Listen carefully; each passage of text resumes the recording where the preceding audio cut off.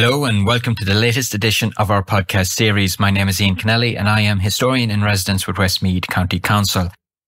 Today we are going to talk about Laurence Ginnell, who was born in Delvin, County Westmeath in 1852.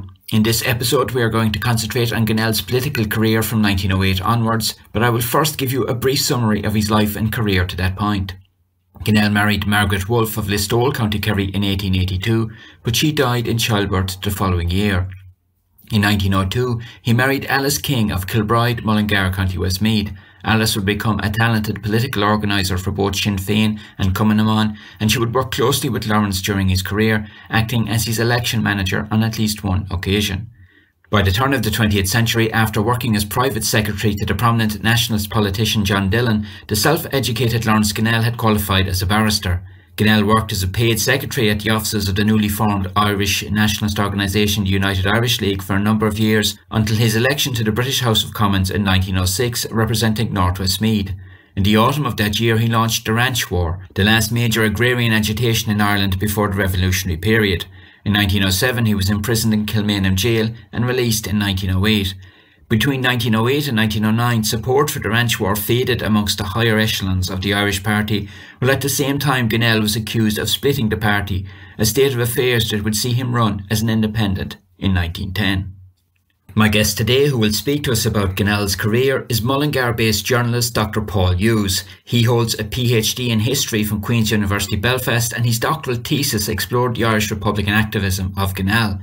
From March to July 2021, Paul held the post of Westmeath County Council Decade Centenaries Historian in Residence. He works as sports editor with Westmeath Examiner and contributes regular history columns to that newspaper. Right, Paul. So we're in 1910 and the general election, two general elections that year. But uh, Ginnell, despite his his background and his his activities to this point, there was a concerted effort in the county to try and put an end to his uh, to put an end to his political career effectively. Is that the case? That's correct. Uh, yes. from about 1908 onwards, after he was released from, from prison for his ranch war activities, um, he was accused by uh, what he and his supporters termed the clique in Mullingar, which would have been the Westmeath Examiner editor and proprietor John P. Hayden and some of his supporters he was accused of basically encouraging, for uh, want of a better phrase on their part, Sinn Féinism in in okay. United Irish League circles, and of of trying to uh, trying to cause division and splits uh, in in the Northwest Westmeath United Irish League. He and his supporters were, of course, regularly known as factionists. So basically, by degrees, after he got out of jail in about April 1908, there were efforts locally to uh, to challenge his his position as MP, and all of this culminated in uh, well initially in in the national convention of the of the United Irish League in 1909, that famous Baton Convention, where he and where Ginnell and William O'Brien and other other critics of the uh, the the party hierarchy, if you like, were uh, expelled from that convention, and from there on Ginnell, in his own diaries at the at the time, described himself as keeping himself painfully close to the party, but he was under intense pressure because of his views on uh, ranching and his views on on where the Irish Party should be uh, going in the long term. Uh, he came under intense pressure uh, from from Hayden and his supporters. Um, eventually, they put up a man against him, Patrick McKenna, who lived in Streamstown. Uh, he was originally from Longford they put up a man against him at the at the December 1909 convention, and uh, McKenna was selected as the Irish Party's man for the January 1910 elections. Ginnell stood as an independent nationalist. He was funded largely by his local organisation uh, or uh, branches of the UIL that were loyal to him, and also by his brother, who was a, a an unbelievably successful engineer, civil engineer based in China. Uh, so his brother sent home hundreds of pounds, which is a lot of money these days, to basically fund his election campaign. And against the odds, yeah. he survived the January 1910 election, and he was uh, he defeated McKenna by about 617 votes. Now, of course, there was a, a, an election then in December 1910, and uh, uh, Ginnell was left alone. Um, Redmond, I think, at, at national level, decided that there wouldn't be much difference uh, in the Irish vote between January and December. So uh, instead of putting up McKenna against him again, uh, there was a decision taken to uh, uh, to leave the Irish the, the Irish seats as they were, and Ginnell, of course, was returned, and he held that seat until he left what was subsequently known as the Long Parliament, which was extended because of the First World War. He held that seat until he left of his own accord in July 1917. So we're after 1910, the elections of 1910, we're into 1911, and I suppose we're beginning the real high point of his political career. Can you explain how he made a name for himself in 1911 and in, in the years subsequent to that? Yeah, he, he basically his his associations with advanced nationalists, if you like, um, became more pronounced during this period. He was still kind of there's it, it's hard to define his relationship with the party because he'd he'd been expelled so many times, but they were kind of trying to ask him back at, at, at some stages, and he said, you know, no, maybe not, you know. So it's it's kind of this undefined mm. relationship with the party, but but pretty much for all intents and purposes, in January 1911, he was out on his own. Yeah. Um, and basically, he for the next four or five years uh, into the First World War period, he made every attempt to to abuse the rubrics, if you yeah. like, and the institutions in uh, in Westminster, and to uh, turn to, to present a different view of uh, Irish uh, or a different Irish nationalist opinion. Um, he started in January 1911 by accusing the Speaker of the House of Commons, who was a man called James Lowther, of uh, partiality and of uh, sticking to basically lists that were given to him by the parties so that, that uh, they'd say, well, we want such a one to speak on a certain topic. And he'd use these lists to the exclusion of others. And Ginnell, as, as an independent and a private member, was was very much put out by this. And it caused a bit of a, a a stir at the time because he, a lot of the radical liberal, uh, uh, the the English members who were uh, liberals, but of the radical wing of the Liberal Party, actually supported him. And one Josiah Wedgwood uh, in private sent him a letter, which Ginnell naughtily went to the Midland Reporter and uh, printed, and that caused another. Uh, outbreak of consternation in the House of Commons, and he was expelled for a week. Basically, that's that's the um, the sort of the template he followed for the next few years, trying his best as a as a not not someone who's going against the, the home rule agenda, which was building at the time, but some someone who who uh, wanted to find avenues to push the, the the more advanced nationalist line in in Parliament and to embarrass the British whenever he could. On that point, for in 1911, he shared a platform with Patrick Pearson and, and other figures who were in opposition to um, the visit of the uh, sitting monarch, uh, British monarch King George, to Ireland. Was that typical of his activities? Yes, that, and that that was it. Before that, he had, I think, the, the he was involved with the Irish Literary Society in London, and in 1910, when uh, Edward VII died, uh, members of the the Literary Society in London decided, or some of them suggested that the meeting, their monthly meeting, should be postponed because of the king's death.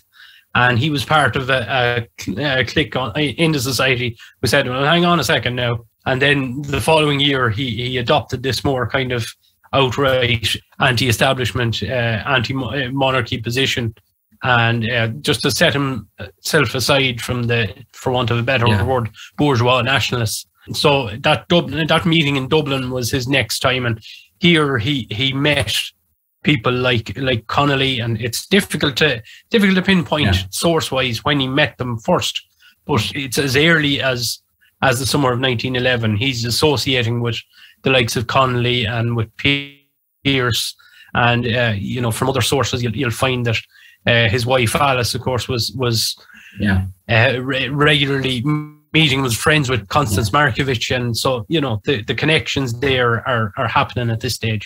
You also mentioned that um, he was never a member of the IRB, but he had friendships and connections going back even to 1905, 1906. So, what was what was the nature of those? Was it just for political?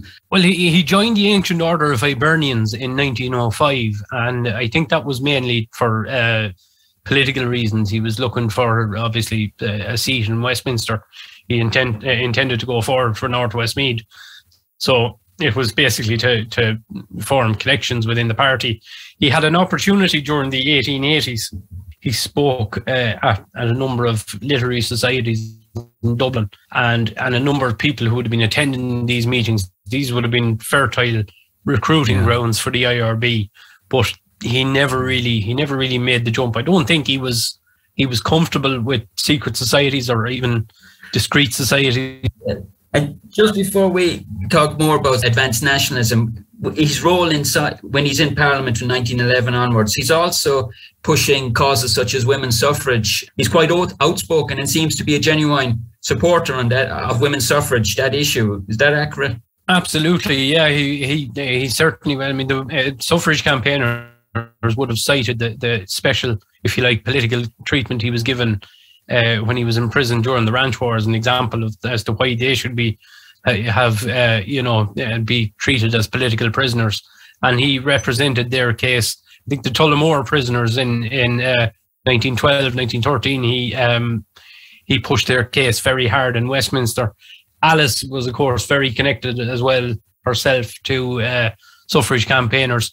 There, there was a limit to to their, uh, yeah. if you like, feminism I, I, would say both both Laurence and Alice. Certainly in in um, pieces I've read about Alice in the past, there was there were limits to her associations with them. I think she saw some of the the suffrage campaigners as as a bit extreme, which is which is funny considering what they went, went on to themselves uh, yeah. and uh, being being anti-treatyites as well as you know as well as Sinn Féiners. But uh, yeah, certainly they were they were both. You could consider them as Catholic conservatives, and um, I think uh, I think it's it's, it's Senia Paseta's work on um, uh, Irish nationalist women. There's references to yeah. um, Alice being in in Constance Markievicz's circles and talking about all this kind of uh, bohemian lifestyle and not being not being too happy with it. But he certainly pushed pushed them hard in Parliament, um, and certainly certainly harder than any of his his erstwhile colleagues in the Irish Party would have. Yeah, yeah, definitely. And so by the outbreak of the First World War, he's he's really established that template of how he acts in Parliament and also his his reputation. And then you have the the outbreak of war. He opposes Irish recruitment to the British Army.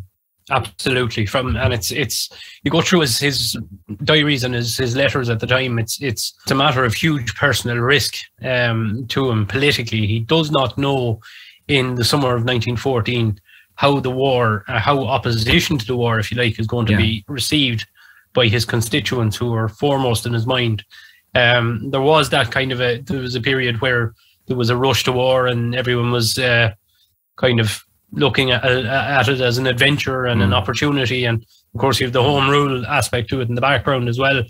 Um, but I think as 1914 dragged on into 1915 and it was clear that the war wasn't going to be over by Christmas, Ginnell felt a little bit freer to um, to vo- voice it and voice it in Parliament. And of course, as 1915 went on, you know, the war became slightly a bit more of a quagmire um, he he just he just went for it in Parliament. There's numerous things. There was one in particular, one question he brought up um, that he had withdrawn from the the order paper, um, but it was it was some some other uh, a unionist member of Parliament got hold of it and brought it up. Uh, he basically accused um, the British of shooting unarmed German prisoners, um, and it was quite an inflammatory um, an inflammatory claim, but he'd he, he'd spend his time, you know, in the library in Westminster or walking around the halls of Westminster and talking to journalists, and he'd hear bits and pieces. And uh, if he heard anything controversial, he'd bring it up. Now he was he was absolutely he was flayed alive in the British press for that particular question. He got death threats, as many have seen the the Ginnell families uh, have extensive papers, and there's this House of Commons envelope full of these uh, uh, letters with with death threats, both from the summer of 1915 and from 1916. And uh, you know, so I mean, like. I, I can't I can't underestimate at the or I can't understate at this stage how yeah. well known he was. I mean he's he's he's coming towards being an international figure at this stage because as he said himself, there's 103 members, Irish members in, in the House of Commons, and only one of them is yeah. speaking against the war, and and that was true. And people were ta- sitting up and taking notice of this. Um, you know, you had you had international, you had foreign reporters in the gallery in the House of Commons, and they were quite struck by this Irishman who was speaking in his inimitable style. Uh, you know, advancing mm. a different view on the war. Um, but as I say, this had consequences for him. He got death threats. He got, but like he also he made inroads in other ways. One, one particular one just show you how how he uh, you know tormented those in power at times. Andrew Bonar Law, of course, was the future British Prime Minister. He was Secretary of State for the colonies at the time in the coalition. And he got word from somewhere that uh, Bonar Law's brother was the director of a, a Glasgow uh, uh, a firm of iron ore merchants who had been prosecuted by uh, the, the British state for trading with the enemy. So basically, they were sending munitions to to the or uh, resources for making munitions to uh, Krupps in in Germany. So this this was a there's know Bonar Law worked in the company himself years ago, but the fact that his brother was still involved, his brother wasn't prosecuted, but uh, it it was a huge embarrassment to him. And if you see, if you look at uh, Herbert Asquith, the Prime Minister's diaries from the time and letters he'd written to his wife, he writes one letter to his his wife saying that um, describing Ginnell as that maniac Ginnell who's going to raise in the House of Commons today about Bonar's connections to yeah. William Jackson Company. And uh, he actually says that Bonar, uh, Bonar Law was considering resigning and throwing up his political career because of it. So that'll just go to show you the, the sort of the caliber of enemies he was making.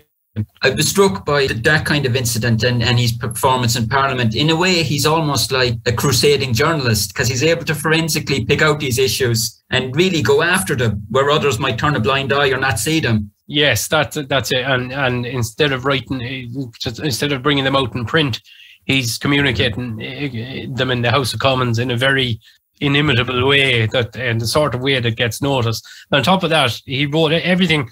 All his notes for his speeches were written in Pitman shorthand, and I think a lot of the journalists, the international journalists in in working in the gallery in the House of Commons, used Pitman. So he just walk up to them afterwards and say, "Here, yeah.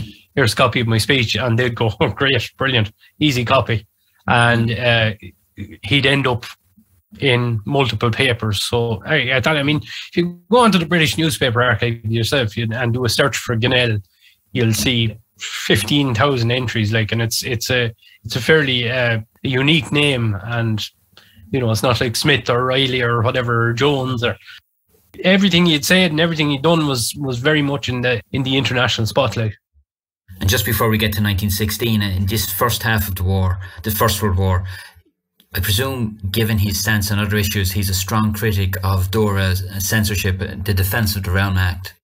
Yes, that's a, the, the, Dora takes up multiple uh, multiple questions uh, in 1915, and he's quite insistent on it and and underlines constantly how Dora was being applied yeah. uniquely and specifically to Ireland in a certain way. It was being used to suppress newspapers has been used to suppress political dissent, free speech, and and he he actually got a book out of it later uh, entitled Dora at Westminster, um, in which he uh, this was published in 1918, and it basically it's uh, copies of his speeches before 1916 and, and after 1916 and how he had had uh, pressed the case against Dora and its application to Ireland in, in the House of Commons. He was also he was also pushing a very and it's you know I, I often hear Roger Casement described as the as one of the fathers of of Irish uh, international relations and foreign relations.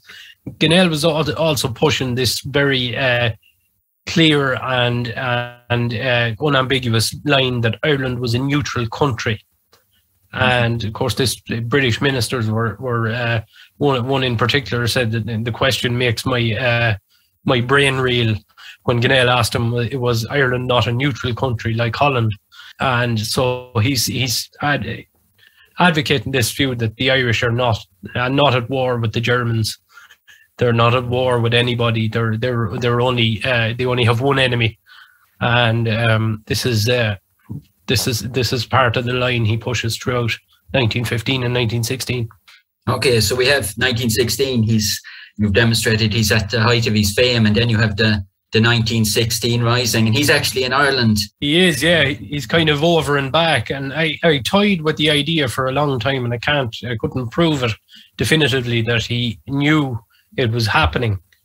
Um, and and I, am not sure he did, but he certainly he was as of September 1915. I think he was sitting in yeah. meetings of the of the executive of the Irish Volunteers. Um, he got he got a postcard from Patrick Pearse at Christmas mm.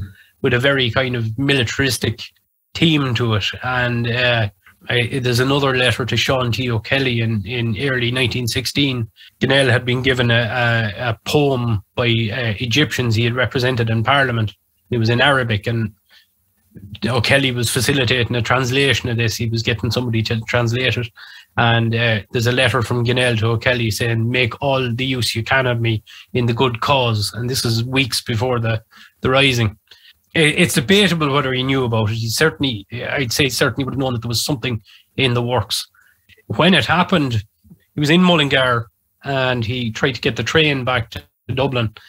Ended up, I think he got, he got a taxi with uh, Oliver St. John Gogarty, and the two of them got as far as uh, Road, and the car was shot at, and uh, they were stopped at by uh, stopped by volunteer sentries, and uh, uh, the, the sentry realised who it was and they brought him through the city and eventually got him to he had to stay in Laoghaire or Kingstown as it was at the time until the Wednesday night. And I think I think I don't know but I think he left on the ship that brought the uh, Sherwood Foresters over uh, and I think he went back now I'm not sure if it's a military ship they came on but certainly it's there's a, there's a chance that he went if they they came on a mm-hmm. civilian ship he went he might have gone back on that to to England uh, to the the House of Commons. He was trying to get back for a meeting of a secret session of the House of Commons where he believed that conscription was about to be imposed on Ireland. So he was trying to get back for that. So that's that's where where he was uh, during during Easter week. And then in the aftermath, can you explain? Because he's he's a relent, he's relentless figure in the uh, House of Commons after you know from the from as soon as he arrives back in. Can you explain his role over the next few months and weeks and months? Yeah, he, he's. Um, I, I, don't have the figures in front of me at the moment. I, I, have a table in my in my PhD thesis. I think it's something in the region of twelve hundred speeches and and contributions to debates he made during 1916 his his role at this time basically is to uh, is to gather information and to to basically what he what he becomes is a publicity conduit for the volunteers, such as they are, because they're just they're they're they're scattered at this stage. They're in prisons in in the UK. The leaders are executed. The uh, everything, the IRB, the volunteers, the volunteers are all over the shop at this stage.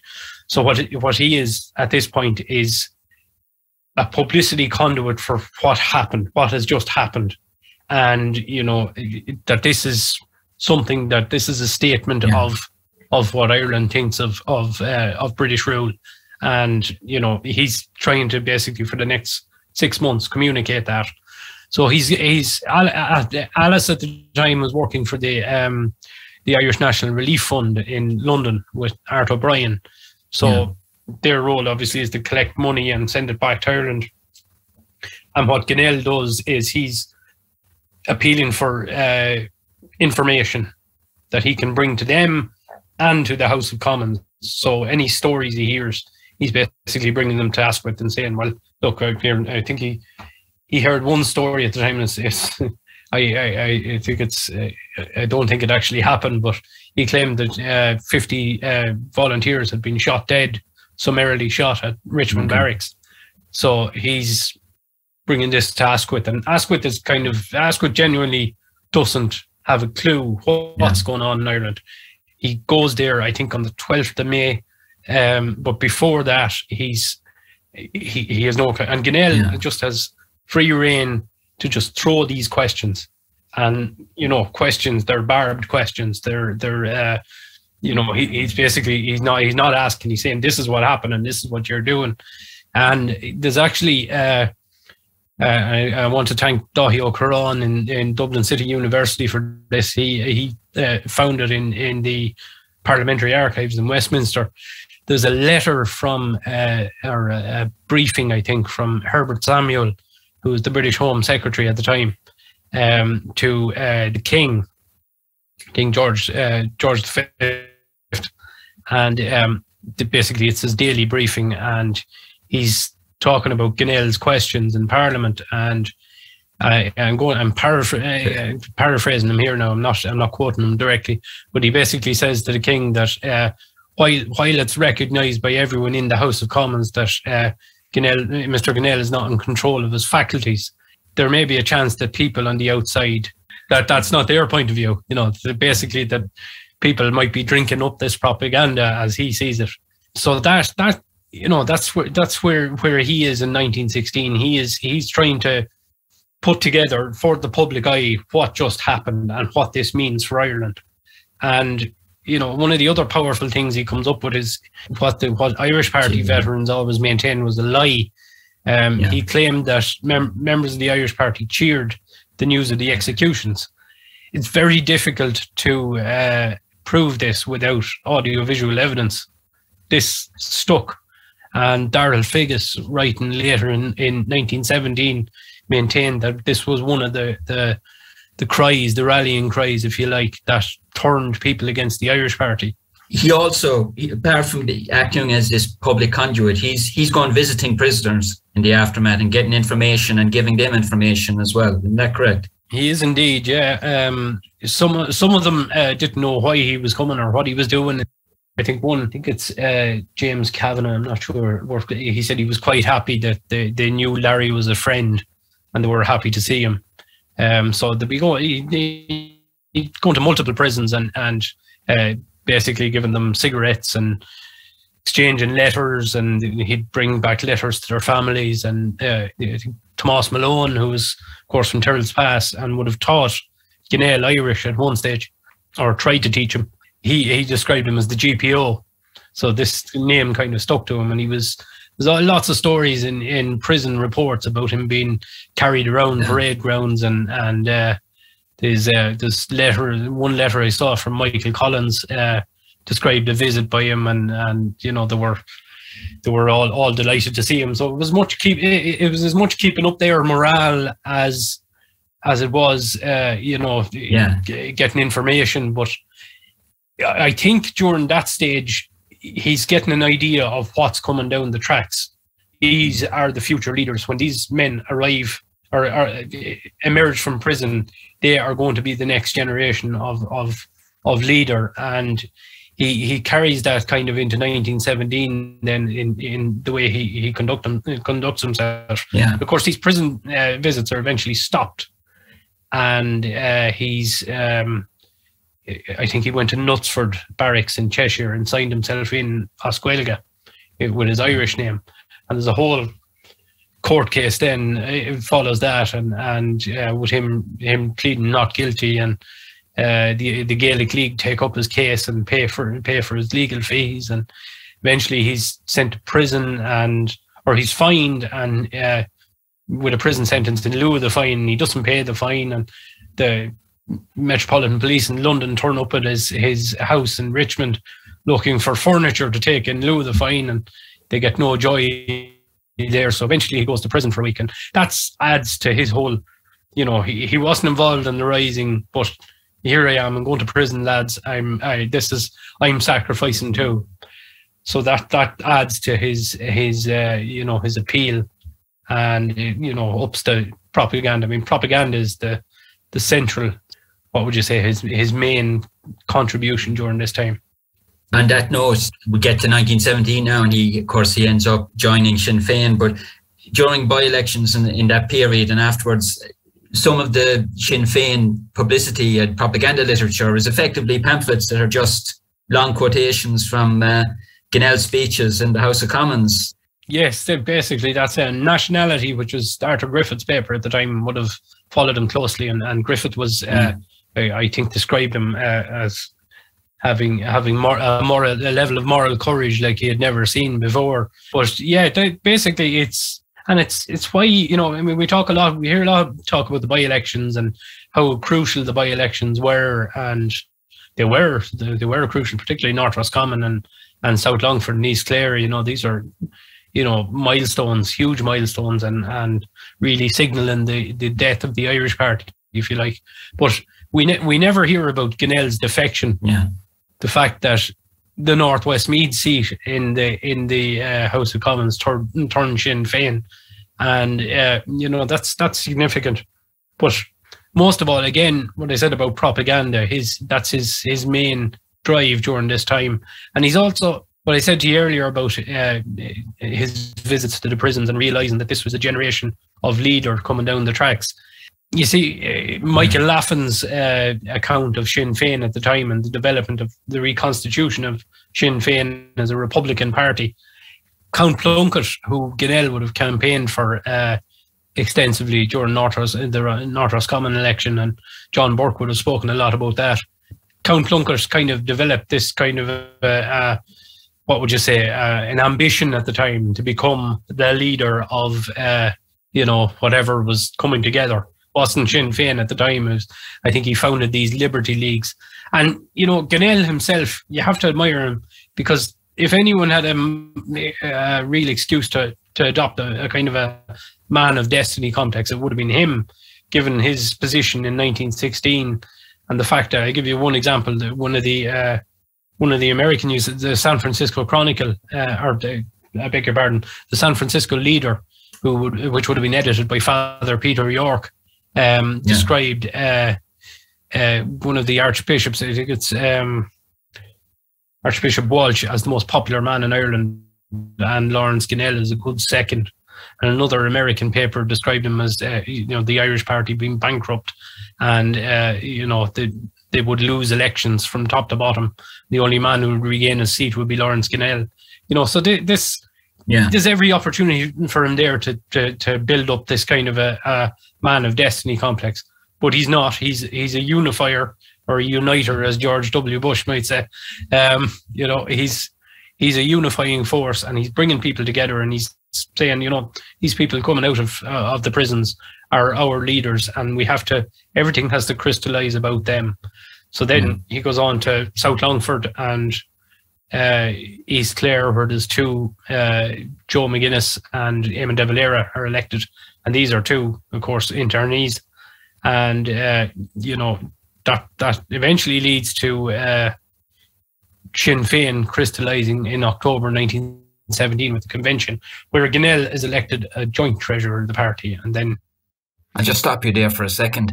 Uh, usually, when you read about Ginnell, the fractious elements of his personality are stressed, and he's often considered to be a lonely or isolated figure. But from what you're saying, and, and from some of the articles you've written, at, at least at this point in his career, he's he's not an isolated figure or a lonely figure to any degree. He's a, a leading figure in a national movement, and he's known internationally.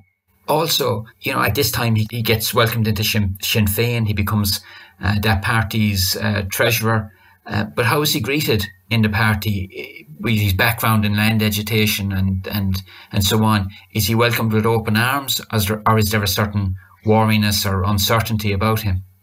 I, I, I think central to his character is his impulsiveness and his belief, uh, nearly a tunnel vision that he's right, you know, and that, that that can cause difficulties for him. So that's that's going to rub up everybody the wrong way. And you know, it's a credit to him that he was yeah. a unifying force at that time, but in no circumstances was he he could be a leader in some ways, a leader by example, if you like. But in terms of someone who sit down to build something and to build, you know, when you're building something, it always involves a little bit of compromise somewhere along the way. Absolutely not. The the Irish Convention in 1917, which was called by uh, to to discuss the Irish question, I think it was uh, was it George Russell uh, was brought in, if you like, to represent the Sinn Féin view. Because there was no way the British were going to sit down and try and talk to Larry Ginnell about, you know, and in some ways he might have been the obvious one, but but not. They just got, you know, oh, this, he can rub up people in Sinn Féin the wrong way as well sometimes. uh, from October 1917, he basically uh, he tries to infuse Sinn Féin with this uh, radical agrarian streak, and you see him going around the country. And there's a real danger at that time. There's a real fear of uh, uh, spreading social unrest. Um, you know, there's already unrest in Russia. There's unrest in Europe. The British are fearing this, and the last thing they want is an explosion of agrarian violence across Ireland um, because you know it, if it goes to Ireland, it mightn't be long before it ends up in in in the cities of London. You know. And are Sinn Féin worry of that aspect of his of his part of his political makeup as well? Partly, I'd say when you know the RIC spent months building a case against him and eventually put him away for uh, encouraging cattle driving. Um, and I would safely say there are certain people in Sinn Féin on the right of Sinn Féin, people like Arthur Griffith and and who you know might necessarily been happy to see him go to jail, but would be kind of relieved that that, side of his his politics wasn't uh, you know getting the upper hand by him constantly fanning it all the time. Um, and you know there, there was definitely uh, there, there was uh, in ways you know what he was the, the demand he was making wasn't that kind of uh, you know, confiscatory or or radical. Um, you know, we're not talking we're not talking the Bolsheviks here or anything. Although he did he did appear on a platform in February 1918, con- uh, congratulating the Bolsheviks on the on the, the you know consolidating the revolution in Russia. He did, but I think as as time went on, he might have regretted that, given given what. Uh, and but you you read his writings at the time on what he wanted in terms of land reform. He was talking basically that anyone with over 50 acres of land uh, should be subject to, to redistribution laws brought in by Sinn Féin. So you're talking about a certain upper tier of land ownership. You know, he's not coming in saying, you know, everyone you, you were having property swept away and everything like that. It's very kind of very limited. But uh, even that would be too much for uh, for some people in Sinn Féin. I'd say they would have been happy to see him off the scene why for for a while, and of course he spends the best part of the next two years in prison. That's it, in and out of prison, and then we have the. Um, can you explain the the background and his success because it was a resounding success in the 1918 general election? Yeah, it it it was, and it was it was done. You know, again we have Hayden here and John P. Hayden as the as the you know, the, his main his main enemy, um, if you like. You know, Hayden had been just hammering away from about the early 1917 onwards, everything he could, every morsel of information he could get. He got a, he got hold of a letter, I think, at one stage that uh, Ginnell had sent to Horace Plunkett in 1899 before he ended up getting a job in the United Irish League. He was looking for a job in uh, the new Department of Agriculture. So government job. So Hayden got hold of this letter. I don't know who. Somebody leaked it to Hayden from the Department of Agriculture and, and Technical Instruction as it was. And it was put, put in the Freeman's Journal first. And then Hayden dragged it through the Examiner as well and, and tried to make a scandal out of it. Also made the point, tried to allege that Ginnell was still collecting his for his 400 pound salary from the House of Commons and this kind of stuff. So try, trying to hurt him in any way possible but it clearly doesn't work um, because the the Sinn Féin just swept the boards in in Westmeath as they did in many areas across the country. I think the Irish Party were weak. The candidates they fielded against uh, Ginnell Weems, Patrick Weems, who was the, the, the Irish Party candidate, was was uh, really a weak enough candidate and, and was seen. I, I, think is it Michael McCoy's Bureau of Military History witness statement says um, he was regarded as someone who was doing work for the British Army and and had been supplying them with meat and they used to call it Weems' okay. hairy bacon. So in terms of a, a character and a, and a candidate who would have been easy to attack, you know, uh, or easy to undermine, Weems was it. I think the Irish Party missed. Uh, and this yeah. Sorry, this is only five, six months after the conscription crisis, so he doesn't seem to be a particularly well thought out candidate to be put forward.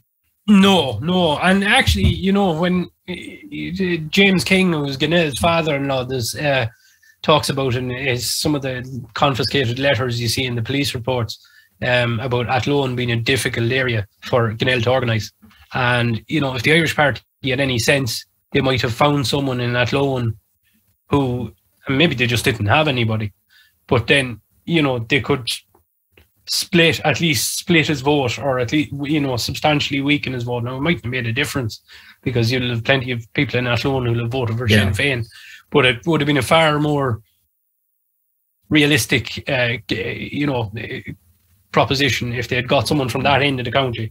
Because you know, mm. even to this day, everyone votes in Athlone, everyone's in Athlone and vote Athlone, and everyone in Mullingar vote Mullingar, you know, and it's you know that kind of parochialism. They could put they they, they put Weems up against Ginnell, and you know they might as well have been putting a donkey up against him, really. Uh, and you know Hayden Hayden continues the the the the attacks in the paper. Of course, Ginnell is supported by the Midland Reporter, although to a lesser extent, because Jasper Tully, who owned the Midland Reporter, uh, decided wanted to run against Count Plunkett in North Roscommon, and uh, Ginnell went with Plunkett uh, and of course that affected their relationship. But Hayden Hayden kept chipping away, but to no avail. And then of course the examiner, after December 19, 1918, becomes suddenly dead neutral. They they don't they don't criticize the British Army during the War of Independence really because they're afraid of suppression. But there's no more attacks on Sinn Féin or Ginnell, and there's no more kind of undermining the way they did. So that's it was a little victory, victory for for uh, Ginnell locally, uh, a local victory, if you like, from the from his prison cell. That brings this episode of our podcast series to a conclusion. In our next episode, we'll again talk with Dr. Paul Hughes and discuss the remainder of Ginnell's career, particularly the First Dáil Éireann, the War of Independence, Ginnell's work in the United States and Argentina, and the Civil War. Thank you.